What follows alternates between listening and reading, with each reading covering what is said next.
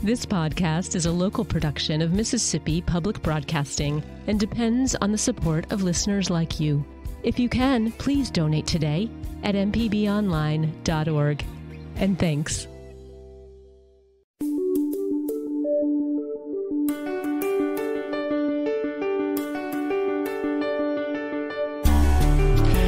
From MPB Think Radio, this is Southern Remedy. I'm Dr. Jimmy Stewart, professor of internal medicine and pediatrics at the University of Mississippi Medical Center in Jackson, Mississippi. Glad to be with you on this hot, muggy Wednesday morning. Just makes you sleepy, doesn't it? Particularly if you didn't get enough sleep last night like me.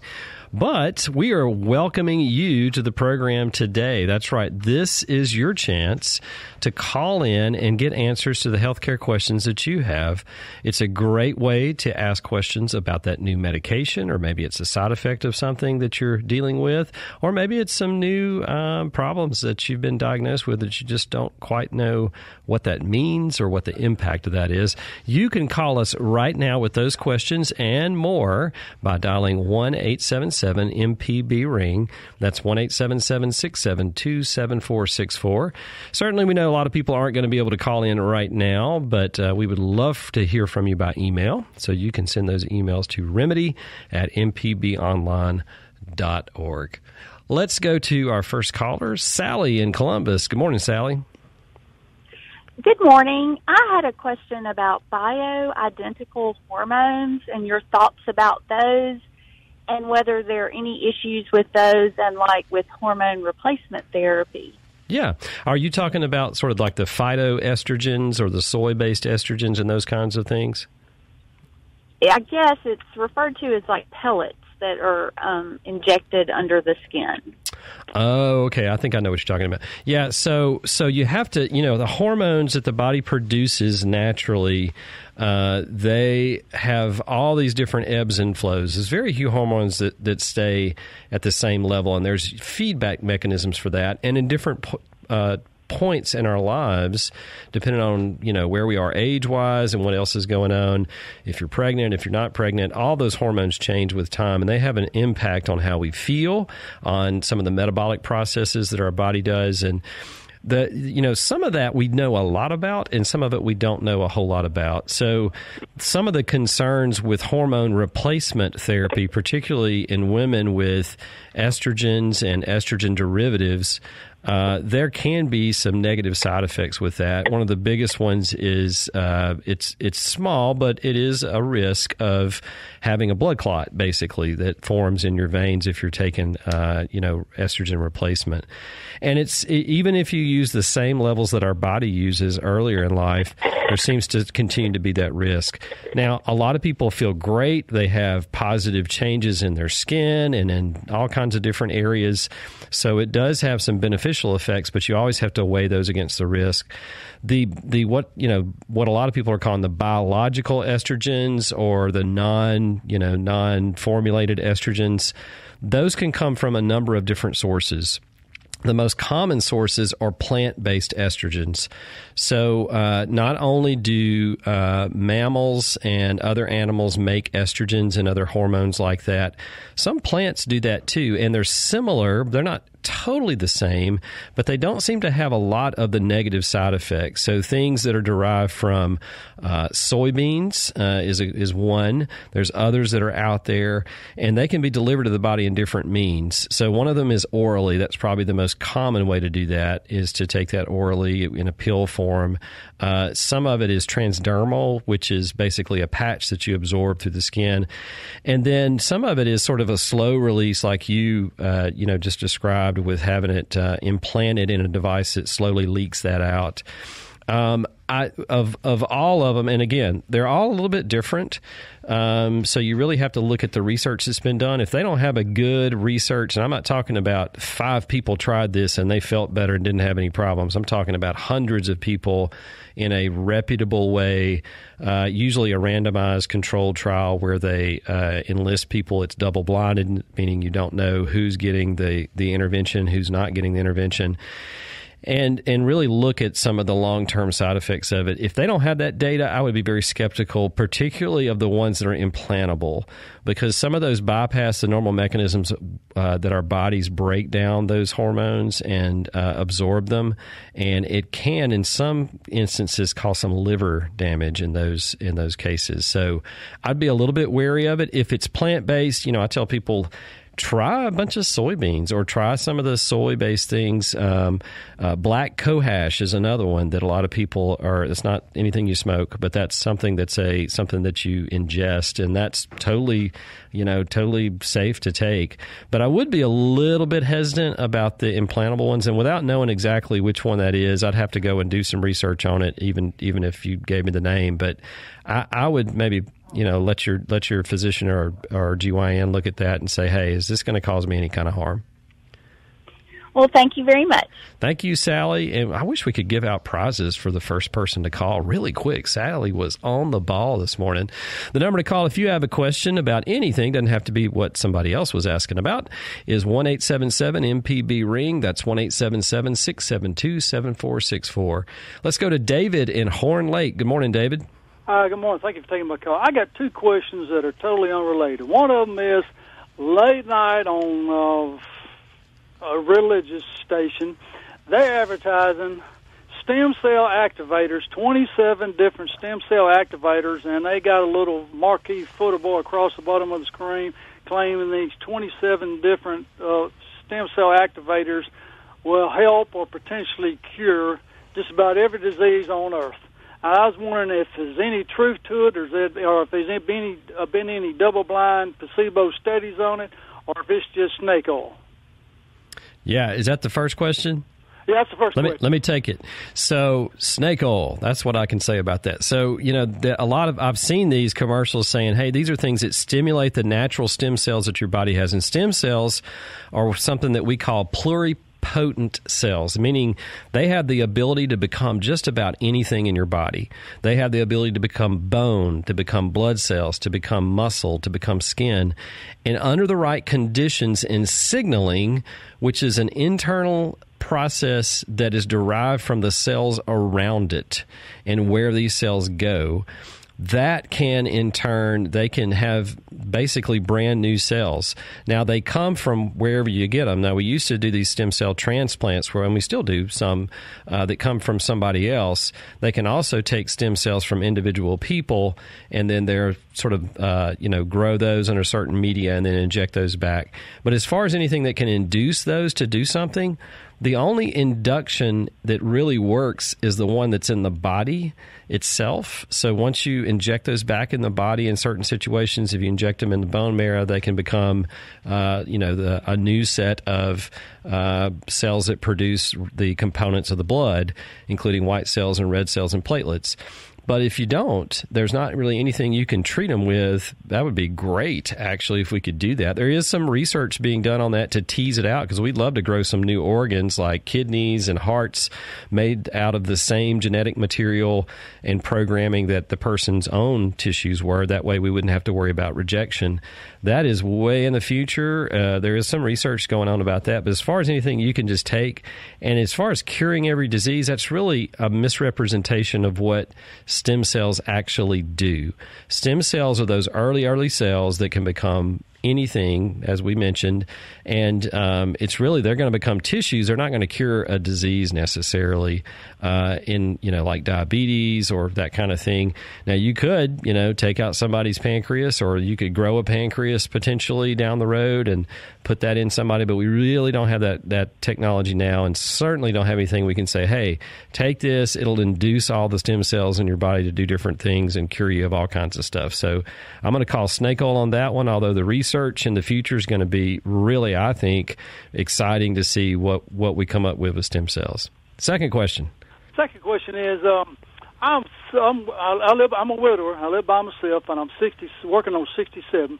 And uh, I'm noticing my short-term memory is getting really, really, really bad. I mean, I spend more time looking for my coffee cup, car keys, and I'll set them down, and five minutes later, I don't know what the heck I did with them. My question to you is, how do you know when your when your memory is just part of natural aging, whether or not it's a wake-up warning signs of dementia? My mother had Alzheimer's, my daddy had Parkinson's, and my sister had multiple sclerosis, and I'm afraid that I probably have a predisposition for neurological diseases. Is there such thing as an Alzheimer's test? There's there's one in development right now that again is not prime time, but they're looking at it that looks at at the so you you get end up having these protein deposits in the brain called plaques, neurofibrillary tangles or plaques, and that's sort of the hallmark of of Alzheimer's and they've they're they're looking at a specific test, particularly in families that have a higher risk of it, to see if you have that. Now, to be honest, the things you would do to try to prevent it is the same whether you would be at risk for it or not. There's also a, uh, and, and I'll talk about those in just a second. There's also a medication that's being developed to block the development of that. So if you do have if they do, you know, if you're diagnosed with early Alzheimer's, at that point you could you could have this treatment. It actually looks pretty promising. This is one that's just recently been uh, released by the FDA, and I am blanking on the name of it right now. Uh, I'll try to look it up in the next break and then uh, uh let everybody know about that. Um, now, how how do we diagnose that? Well First of all, just because you have dementia doesn't mean you have Alzheimer's, and um, it it is a very common cause of dementia. But there's other things that can cause it. Making sure that you have a healthy diet, that you have regular sleep habits, and that you're active. All those things can help prevent the progression of dementia, even if you have early signs of it. Using your brain in different ways. You know, a lot of people retire and they just don't do much of anything you need to think of your brain, even though it's not a muscle, it's a it's neur- neurons or, or nervous tissue, but it really functions the same way. If you don't use it a whole lot, it's not, you're going to be pretty poor on some of those recall things. And then you can get formal testing. So they are geriatricians. So these are people that see older people or people who have problems like dementia, um, and they basically can do a series of tests. I know at, at UMMC we have a, a center called the Mind Center, M I N D, that does this, and I've sent some of my patients there to get some formal testing depending on what they see, they may want to do some further tests and they may want to do some blood tests because there are some things like hypothyroidism or low functioning thyroid gland that can impact your thinking. So you do need to make sure all those things are being looked at. But if it's just you know sort of the normal aging, I forgot my keys, I can't remember that guy's name, and it, but it comes back to me in five minutes, or I finally find my keys. That's sort of a normal process. It's just when it progresses beyond that. But I would go see somebody just to give you a once over if you haven't already. And if you need to see somebody that can do that type of testing, I'm not talking about like the quick five minute test they can do in the office. That's a nice screen. And if you do okay on that, they may not need to move further. But there is some some pretty complex testing that they can do. It'll take several hours actually to go through it, but it can give you a lot of good information about sort of the areas of thinking and cognition that you might be deficient in, and if they need to, to go any further with looking for things like Alzheimer's. One more comment, real quick. Um, since why I have a family history of uh, uh, brain neurological disease and whatnot, how would you go about donating your brain to science? Maybe they could use it for experimentation or finding maybe a cure for some of this stuff. Yeah, different ways you can do that. I would contact somewhere like UMMC or another academic uh, medical center and tell them that you're interested in doing that. There's different ways that you can do it, but it's a a organ donor program. So um, and you can say, hey, if you want, you know, just to look at everything that's, uh, you know, that I've gone through and everything when after I die, and use it to the best of, you know, how you want to do that. Or you can specifically say, I want it to go for this purpose. They'll be able to give you a um, a listing of those kinds of things. And David, if you're able to listen, I'll um, not only will I try to get the name of that uh, Alzheimer's medication to you, but I'll also give you that number for UMMC to contact. I'll be listening. Thank you. I'm Dr. Jimmy Stewart. Thanks for listening to the original Southern Remedy podcast. You can get your medical questions answered by sending an email to remedy at mpbonline.org. For a regular dose of medical information, subscribe to the podcast using your favorite podcasting app. The doctor is always in on the original Southern Remedy.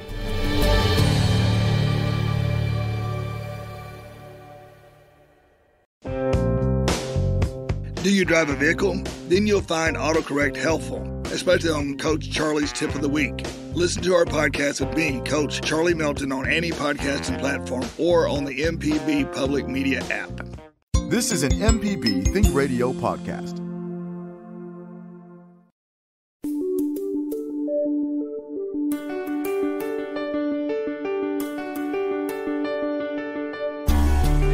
Welcome back to Southern Remedy. I'm Dr. Jimmy with you this morning answering your calls and questions about all kinds of good health care issues that you might be going through right now. The number to call is 1 877 MPB Ring.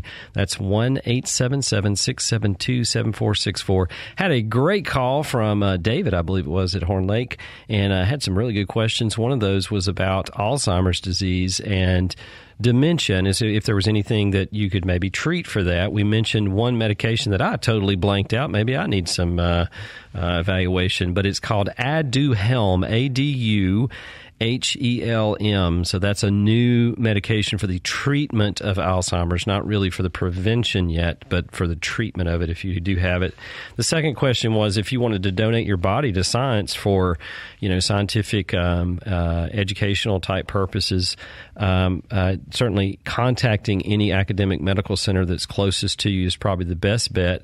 But I do have the one at uh, University Medical Center in Jackson. So the email for that is body donation, all one word up together, at umc.edu or the phone number for that is 601 984 1649. I should mention, too, the NIH, National Institute of Health, also has uh, some on their main website. If you go and look and sort of search for that, you might see some further information about how you might go about doing that. All right, we're going to go to Sue from Beaumont. Good morning, Sue. Good to talk to you this morning. How are you? Good morning. I'd like to, first of all, I'd like to, to thank that guy who is going to donate his brain. I think that's so altruistic and wonderful to do that, don't you? Absolutely. I, you know, and, and part of my training depended upon uh, the gracious donation of individuals and their families of their bodies for, for science. And, you know, a lot of people will have problems with that and say, you know, in, in that sort of, uh, sort of weird or creepy. And I, I, can tell you, my experience is there. It's it was with great reverence and appreciation that we, you know, when we were going through gross anatomy and we were going through uh, neuroanatomy. Uh, that helps out a lot. It's just there's no substitute for that. We certainly have lots of computer programs that can simulate that and lots of different scans and things, but it's it really helps out, particularly in those specialties that uh, you know surgeons, neurosurgeons. That's that's that's really integral to what they do. So I agree with you, Sue. I want to ask you a question right quick, okay? Sure. My, I have a daughter, excuse me, in Texas, and she called and, and uh, she was in the hospital for a, a renal failure, and was all on you renal failure. And then some doctor whose accent I couldn't understand came on the phone and said that uh, some kind of antibiotics. Do you know what kind of antibiotics it could be? Some kind of antibiotics that she had been taking caused her uh, just sudden renal failure.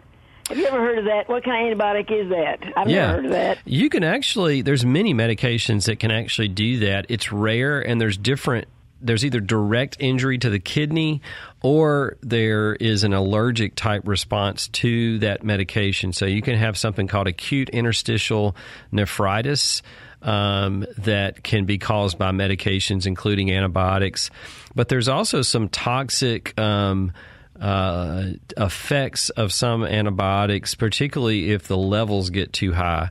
One that uh, a common one is vancomycin. So vancomycin is something that you have to take through an IV. You can actually take it orally for something, but that really, really doesn't cause um, kidney damage. But basically, at higher levels, it can be toxic to the kidney. Gentamicin is another one. There's there lots of different medications. Um, that you have to adjust depending on the level of kidney function you already have. So that's always, you know, for some things we'll get lab tests beforehand before we'll prescribe them just to make sure. But uh, it could be, Sue, it could be about 10 to 15 different antibiotics, honestly. Well, I didn't know that. Is there any way to reverse that? They, they've got her on dialysis now. Yeah, sometimes it is. It depends upon the type of damage that's done, and um, sometimes you just sort of have to wait and see. And sometimes I've seen some patients that went on dialysis and then they were able to come off of it after their kidneys recovered. But you want to make sure that you've got optimal conditions for them to recover, you know, and not have anything else that's sort of impacting that. Well, thank you. Thank you, Sue, and uh, good luck to your. Did you say it's your daughter in Texas? Uh huh. Okay, okay. Thank yeah. you. Yes, ma'am. This is Southern Remedy. The number to call is 1 877 MPB Ring. That's 1 877 672 7464. We're going to go to Tom and Brandon. Good morning, Tom. Good morning, Dr. Jimmy. How are you? Good. Uh, two quick questions. Uh, several months ago, I'd say about three months ago, uh, playing golf, uh, about halfway through the round, I found myself in what they call the rough, which is high grass. I've been there many And- times. Me too. and uh, I swung a little harder out of that, and something happened to my hip.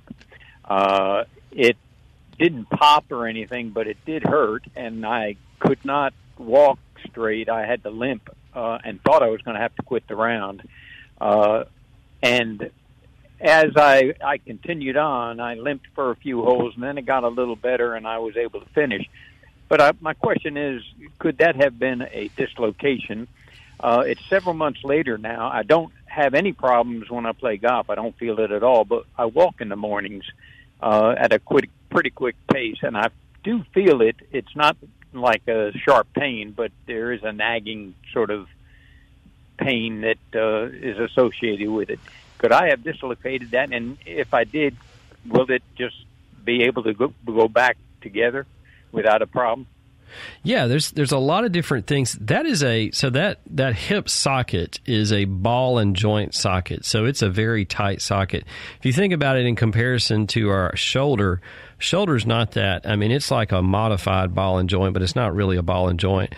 Um, because it has more mobility. So, although the hip does give us mobility, it's sort of locked in there. So, it's locked in there by tendons uh, and ligaments. And those, depending on if you you know, like you said, in a motion where you're you're you know basically hitting out of the rough and probably just hit a little bit too fat and just sort of stuck through there, or it was a lot more pressure. Those things can tear, and certainly they can cause a lot of problems immediately. If it's a tendon um, or a ligament, um, sometimes if it's a partial tear of it, they can can heal up pretty good. Now, several different things can happen to make that joint dislocate, but it is it takes a lot to get it to dislocate unless you already have damage to it. So um, I, it would be very unlikely for it to be dislocated out of socket and then immediately come back in, just because that's again it's a tight joint. A shoulder can pop in and out all the time, and it's most of the time it's pretty easy to get that back in, um, depending on the, the laxity, the person's laxity of those tendons and and uh, and uh, ligaments. But it's less likely, particularly with that that motion, that you could have done that. Now you could have torn like the labrum, so that's like the cartilage that um, that lines the the bone uh, between the femur. That's the the upper leg bone and the pelvis that where it's in that joint space. Um, those don't heal up as well, and they usually are there for a while. So if you're feeling it later on, you may have a small tear there, or you might have a couple of things that happened all at once. I suspect it's probably just a tendon that was partially torn or a ligament, and those sideways movements, particularly as we get older, if you're not doing those, you know, and, and hitting out of the rough, I get it. Partic- my, the worst thing is like if a heavy rain and you hit something sort of fat, and I've done the same thing, and everything just stops, and um, that causes a lot of tearing to those, a lot of pressure on those joints. But if it's okay while you're walking and you're still playing golf without any problem, if it's just a little bit sore, I probably wouldn't, you know, I probably wouldn't think anything was wrong with it. Best way to look at that, x-rays help some, but they only tell us about the bony parts of the joint. But an MRI would, would really show us um, the ligaments and tendons and all those cartilage surfaces most of the time we can't just jump to the MRI just because it's expensive and there may be other things that we can do first. But um, that's that's if it continues or if it gets worse, that's certainly something I would do uh, to get it checked out. But uh, my last question to you, Tom, is: Did you make the shot? uh, I missed the putt. there we go. uh, the the second quick question is, is I've I've heard many times uh, about athletes, particularly football players, that have hip pointers. Can you explain quickly what a hip pointer is? Because I've never really heard what that is. Yeah, so you know any kind of sport that has um, a potential for overuse injuries, or um, if you're exposing yourself to a lot of force like football players. I mean, football players have gotten so big these days. It's it's really you know it's it's really impressive the amount of force that they can generate. So a hip pointer is basically one of those injuries. It's a it's really like a deep bruise, and it's on the ridge of the bone on the on the upper outer portion of your hip. So it's called the iliac crest. And it's really just a, a bruise over that area. You know, we like to give things, you know, uh, catchy terms like that. So, but that's basically what it is, and um, it, it usually after you know getting off of that a little bit and allowing it to heal up, it does okay. But if you're a lineman and you're you know getting hit over and over again, you want to stay in the game. You can see how that would. Uh, that would sort of uh, throw a wrench into things. But usually, you have to uh, something that's like a deep bruise on the bone itself. That's going to require you to uh, halt that activity for a while. But that's basically what it is. Okay, and one last quick thing related to what you were discussing earlier. Uh, is there an age limit for donation of organs or body? No, I don't think that they do have one. That that may have changed. Uh, I don't know the specifics, but I, am pretty sure that they don't have an age limit on that. That um, yeah, we you know back uh, almost uh, 30 years ago, we had um, you know everybody from early 20s to up into their 90s um, that donated their bodies, and that's you sort of need that too. You need that that uh, variation across the age ranges to see how things are different.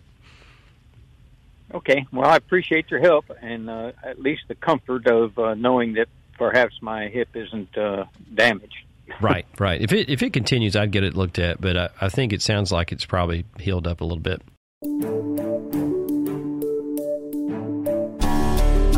I'm Dr. Jimmy Stewart. Thanks for listening to the original Southern Remedy podcast. You can get your medical questions answered by sending an email to remedy at mpbonline.org. For a regular dose of medical information, subscribe to the podcast using your favorite podcasting app. The doctor is always in on the original Southern Remedy.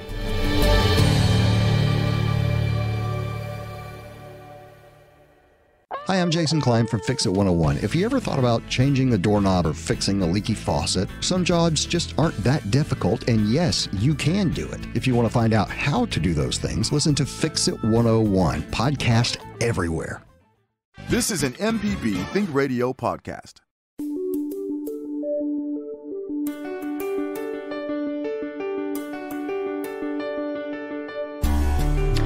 This is Southern Remedy on MPB Think Radio. Dr. Jimmy with you this morning. Uh, lots of good calls about all kinds of different things. Is what I like to hear on the program. Sometimes it's good to hear multiple topics or, or one topic with multiple callers, but uh, I like the variety. Maybe it's just the med peds in me.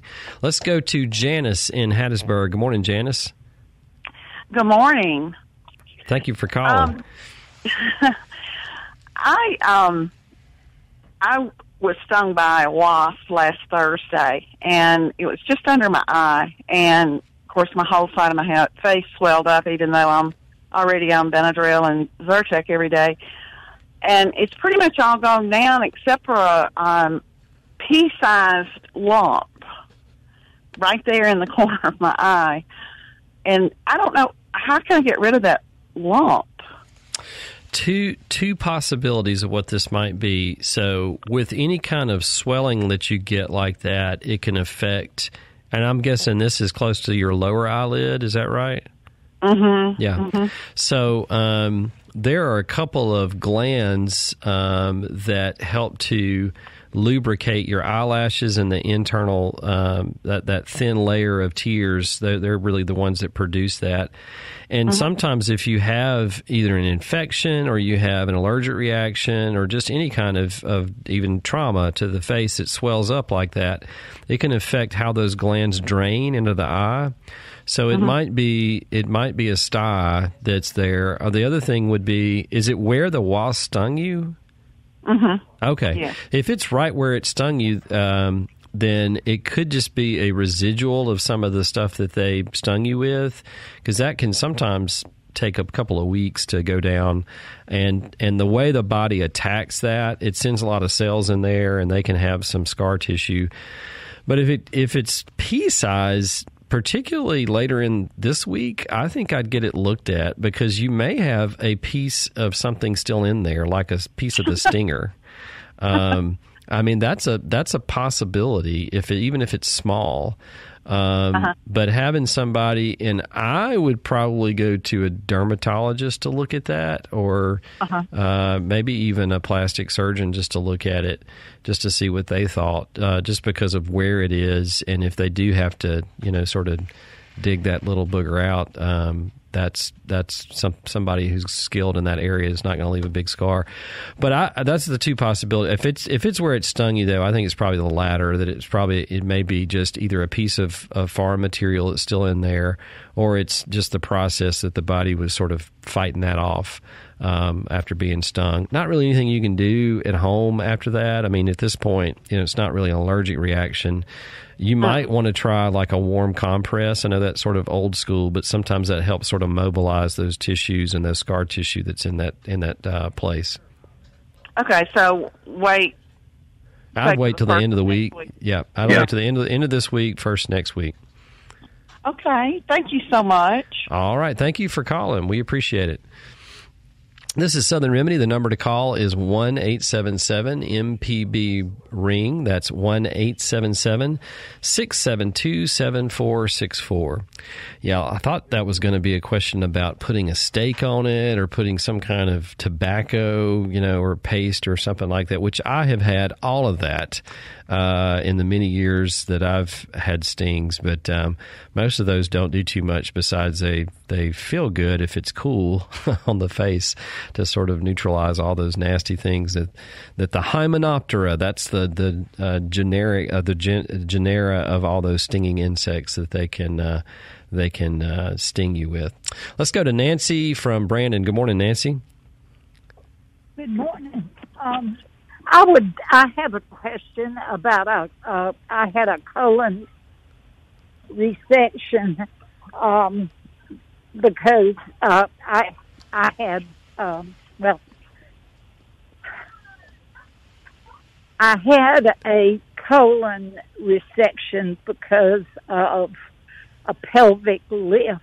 Uh huh. I had it, and and the pelvic lift was done after or before. No, it was after the um, pelvic lift. And within three days of having that surgery, that cold day, I was told that he uh, that uh, about a foot and a half of bowel was removed and reattached uh, to that part of uh, to my uh, rectum, which goes down through my anus. Right. Well, since then, I, well, within three days, um, I had, um, I was hurting. You know, I was given some steroid um, oh dear, what are they? Some steroid. Uh, like a medication, steroid medication. A steroid medication to, to put inside my rectum for 12 days. And that was supposed to shrink it, you know, that part of the uh, bowel that kept falling down through the uh, my anus uh, had lots and lots of diarrhea, but finally got got that under control. Is there a surgeon or uh, some way? Is there a surgery that can correct that? And I'm. Uh huh. Yeah, there actually is, and uh, so rectal prolapse, which it sounds like that's what you're having, can be a yeah. complication. Yeah after a surgery like that. And actually, you can have it just without having any kind of surgery. Uh, so I've had some patients that have had this, and It's more of a nuisance than anything else. It does cause a lot of irritation and problems. I, you know, I've had several patients that had it for years, and they were just like, you know, I just when I use the bathroom, it happens every time. I just take the toilet paper and sort of push it back up in there, and it's fine. Um, but if it does cause some problems and it's very irritating to you, there are there are ways to sort of tack that back down to the tissue. So basically it's it's sort of hard. It's a hard thing to explain to people. Basically, that that tissue that you had taken out and now is you know when you bear down to have a bowel movement or anything like that, it's the pressure sort of telescopes that that portion of your large intestine outside the body through the anus. Um, and the surgeries, they can do it a couple of ways. They can do it the old fashioned way, which is a little bit is open, or they can do it laparoscopically with small incisions. And you just the biggest thing is those are general surgeons, or they're going to be uh, uro, uro, uh, urogenital surgeons. Um, you just want somebody who's done this well um, to ask them. If it's just a general surgeon that's, that's doing everything, if they don't have a lot of experience in this area, I would probably ask them who they would, if they had a family member of themselves, who would they ask to do it, um, and and get a second opinion on that, and then ask specific questions about what's the success success rate of this surgeon in doing this procedure. What uh, are the complications, um, you know, both from having any kind of surgery and this particular surgery, and what are the risks involved with it? So, if you ask those three questions, they should be able to talk to you about that. If they're reluctant to talk to you about that, go get another surgeon um, because that's that's really important that you can trust them with that, and you need to know what the outcomes are. Uh, but it is, you know, in my patients that went and had it repaired, they really haven't had many problems um, with it. So I am unaware of uh, you know anybody in the Brandon area, but I do know we have a few surgeons that have done this at UMMC, and they do a great job with it. So if you you know just call and ask for the um, you know, for the surgery department line, they can they can assist you with that, or talk to your physician about that. But uh, yeah, it, it, can be successful, and frequently it does happen after a surgery like that. So any kind of like bladder lift or uh, uterine surgery, hysterectomy, it just changes the anatomy of the interior of the pelvis, and it can cause problems like this to come up.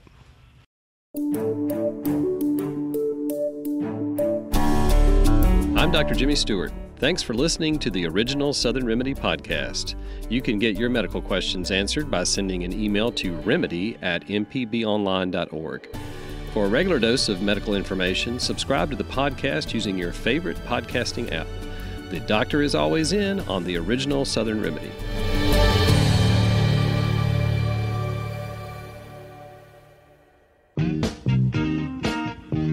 Hey, this is Larry Morrisey with the Mississippi Arts Commission. I'm one of the hosts of the Mississippi Arts Hour, the arts interview show on Think Radio. We talk with visual artists, musicians, writers, as well as people who help bring the arts to their communities. We hear about how each artist learned their craft and get some insight into their creative process. You can hear the Arts Hour every Sunday at 5 p.m. on Think Radio, or listen anytime by subscribing to the show through your favorite podcasting app. This is an MPB Think Radio podcast.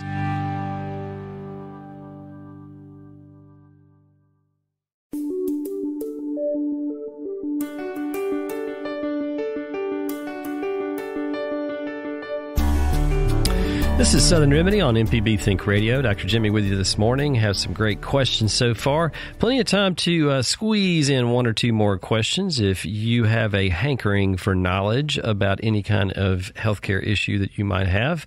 The number to call is 1 877 MPB Ring. That's 1 877 672 7464. You know, we should mention too. It, a lot of people are like, you know, I don't really have the time with my job. Well, I want to listen to the show, but I don't really have that time, or I may have missed something. You can always go back on our website, mpbonline.org, org and search for Southern Remedy. We do archive those. Or if you'd like to subscribe to uh, Southern Remedy on any of your favorite podcasting apps, you can do that. Just search for Southern Remedy uh, under uh, Mississippi Public Broadcasting. Uh, previous caller did talk about sort of a wasp wasp sting. I did. I think I, I missed. Did I, so? I am a long way from my biology degree, uh, but the Hymenoptera is the order, not the genera. So the that includes bees, wasp, and ants, and they're all a little bit different. Uh, most people don't realize this. Here in the South, uh, in fact, I was, I, we had met a potential uh, basketball candidate uh, student uh, that was visiting uh, Mississippi College, and they were from a different part of the country, and they were like, you know, we were saw them out at, by the reservoir, and they had um, some all- little baby alligators out there, and they were saying, uh, do these get big? I was like, oh, yeah, they get real big. Uh, they get 12, 14 feet long, sometimes longer than that. And the parents' eyes got big, and they're like, I don't know about this. I was like, I'm not helping recruitment right now. But we worry about things like that. We worry about snakes. Certainly, we have our venomous snakes uh, in Mississippi. But most people don't realize that more people die in the United States of uh, wasp, bees, or ant uh, hypersensitivity reactions than anything else, any other in, envenomation. So if we think about those snakes, um, less people die of that uh, than uh, they do with bees and wasps. And adults can have, uh, typically, we think of children having allergic reactions, but adults actually have more severe allergic reactions to those just because you've had. Um, you know, a previous envenomation from one of those stinging insects you you it doesn't necessarily mean the next time that you're not going to have one. So you need to be be careful about that. Certainly, anything that's local, local meaning wherever you get stung, if it should swell up a little bit, just as the way that venomation works, the way the venom works, and the way your body tries to ward that off, try to contain it. Um, but uh, the ones that cause more systemic reactions, in other words, if it stings you on your hand, but now your whole arm is swollen, or if you have trouble breathing or swallowing, that's the point to really get to a professional. You need to go straight to the ER, and you don't need to try to tough those things out. That's how people die of those. But you want to be careful, and if you do have one of those, you need to see an allergist about, um, you know, getting an EpiPen to have with you, knowing how to use that correctly, and uh, talking about uh, some of the other things that you need to do to avoid those negative reactions. Let's go to Ben all the way down in Gulfport. Good morning, Ben. Good Morning. Uh, I have a question. I was um, diagnosed with uh, enlarged prostate. Yeah. And was and was uh, given Flomax. Uh huh. And it doesn't seem to be working that great. Is there any other medication that they could use? Yeah, there's there's several. So um, that's a common thing. Ben, how old are you? Do you mind me asking? 72. 72. Okay. Young 72. Okay. So uh, basically, you know, as we get older, uh, at least men, that prostate gland can enlarge and it can sometimes cause some uh, some symptoms of decreased urination or, or a decreased stream, uh, forceful stream, and sometimes it can even have overflow incontinence with it. So there's several different ways to to shrink that prostate down all of the medications take a while to work. And I'm not talking about like a week. Sometimes it can take months to work. So that's one thing to keep in mind that not always, you know, when I put people on medications like this, I try to do that. Um, but uh, Flomax is one that you take either once or twice a day, and it can help to shrink those tissues. Some people, it helps more than others, though. Then there are other medications that you can either try separately from that that work in a little bit different way to sort of block either it's really two two ways. One is it sort of shrinks those tissues down from from one or two different uh, pathways, but a lot of times you have to to um, add them together. Uh, so some of the other medications you can you can add together to the Flomax. Um, I would just call your physician and say, "Hey, is there an alternative to this?" They may want you to, to see a, a urologist. A lot of people, if you if you can't really tolerate or you can't take the like Flomax, which is probably one of the more popular ones, the common ones to try out first, and it's not really giving getting you relief, then they could add something else to that. Um, Uh, but some of them will go ahead at that point and, and send you to a urologist. Most of the time, we will check a, a PSA test too, which I'm sure you've had, um, which is basically just a blood test looking at the prostate specific antigen. And that can be elevated, uh, the number can be elevated um, with enlargement of the prostate, but it's typically uh, much higher elevations, you want to look for, for prostate cancer in those situations. But I, would just have that um, that um, discussion with them. But there's a there's a couple of different things. People try over the counter things too, like. Um, Saw Palmetto. Uh, it has a weak effect on the prostate, in my experience with it, um, in, in telling patients about it. But um, it can, in some individuals, if it's just sort of mild uh, symptoms that they're having, that can tend to shrink it down. But I would give it one more chance with a separate medication or added to the Flomax and give it about a month or two to work. And if that's not getting you anywhere, that's the point where I think I would go see a urologist for some some other uh, second opinion on other things you could do. Okay, sounds good. Thank you. All right. Thank you for calling, Ben.